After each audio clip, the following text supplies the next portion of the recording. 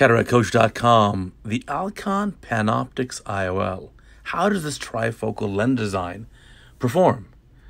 So this lens was just FDA approved in the US in September of 2019.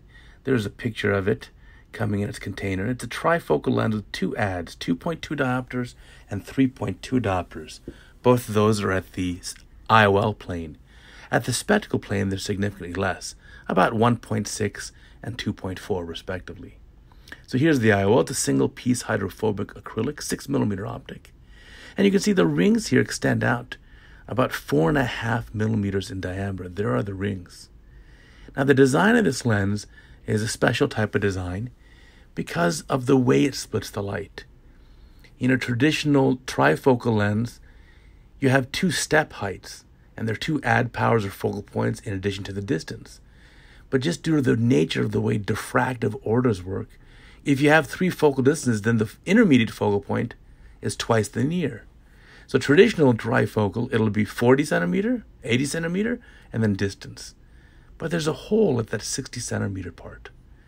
So what Alcon does basically is make a quadrifocal IOL design. That's right, the PanOptix is actually a quadrifocal design, but it's manipulated optically so that the extended intermediate focal point, 120 centimeters, is kind of pushed out or redistributed to the distance focal point, and that gives better performance. This gives you two step heights or two add powers in addition to the distance. So light's still split three ways, distance now even better, and then intermediate at 60 and near at 40 centimeters. And because of this, it ends up being effectively a trifocal design. So there it is being implanted inside the eye into a nice empty capsular bag, and it unfolds appropriately like any of these other uh, single piece acrylic lenses designs do. Very important that we line up the lens appropriately in the patient's visual axis. A helpful guide can be those Purkinje images, which we see there. And at the very end of the case, the final position of the IOL should have it lined up. Let's look now at the ReSTOR 2.5 bifocal lens, or the predecessor to this lens. Both are still available in the US market, and let me show you how they're different. Now, this is the ReSTOR 2.5. Again, that's a 2.5 add at the IOL plane, which is more like a 2 add at the spectacle plane. And so we zoom in and look at the rings here. There are fewer rings, and it's only the central, about three and a half millimeters of the optic. You can see those rings there. The very center one is all distance, so it helps to emphasize that. This lens, the one I'm showing you here, is also toric, and the PanOptix is also available in toric powers. Again, the loading of the lens is very traditional. And here, the surgeon, that's me, I'm loading the lens myself just to ensure it's done appropriately. And we can deliver this lens. And then similarly, this is a toric multifocal, so we have to line up the center of the lens with the visual axis and also have the appropriate rotation of the optic so that the toric power is lined up with the pre-existing corneal astigmatisms to neutralize it. And so the lens is going to be delivered here very nicely in the capsular bag and the rest of the case proceeds normally. And again, careful in both of the des- these designs, remove all the viscoelastic from behind the IOL optic. And that allowed the IOL to seat a little bit better and stick in place. This material is slightly tacky, so it will stick and stay exactly where you place it against the posterior capsule.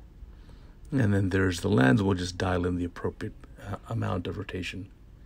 So, again, what's the final comparison? Here's an easy way that I put it. The green line at the top is the ideal vision. That's the vision of a 25 year old healthy human with a human crystalline lens. And you can see from one foot to far distance away, and it's near perfect vision. That's the best. But you know, youth is wasted on young people, and none of us are going to be young again. The yellow line there next, that's the distance vision lens implant. That's a monofocal lens. We're aiming it for distance vision or plano, and you can see it gives a very wide range from about four feet away to very far away, very clear without glasses. And then glasses are needed for anything basically within arm's reach, three feet or closer. Both this monofocal lens and the healthy 25 year old human lens give excellent night vision. No glare halos. Now, the two other lines there the orange line is the bifocal lens implant, the ReSTOR 2.5. It will have pretty good clear vision from far away all the way up to about two feet away from you. About 50 centimeters, maybe as close as 18 or 20 inches away. And then it'll drop off relatively quickly and require reading glasses for anything closer.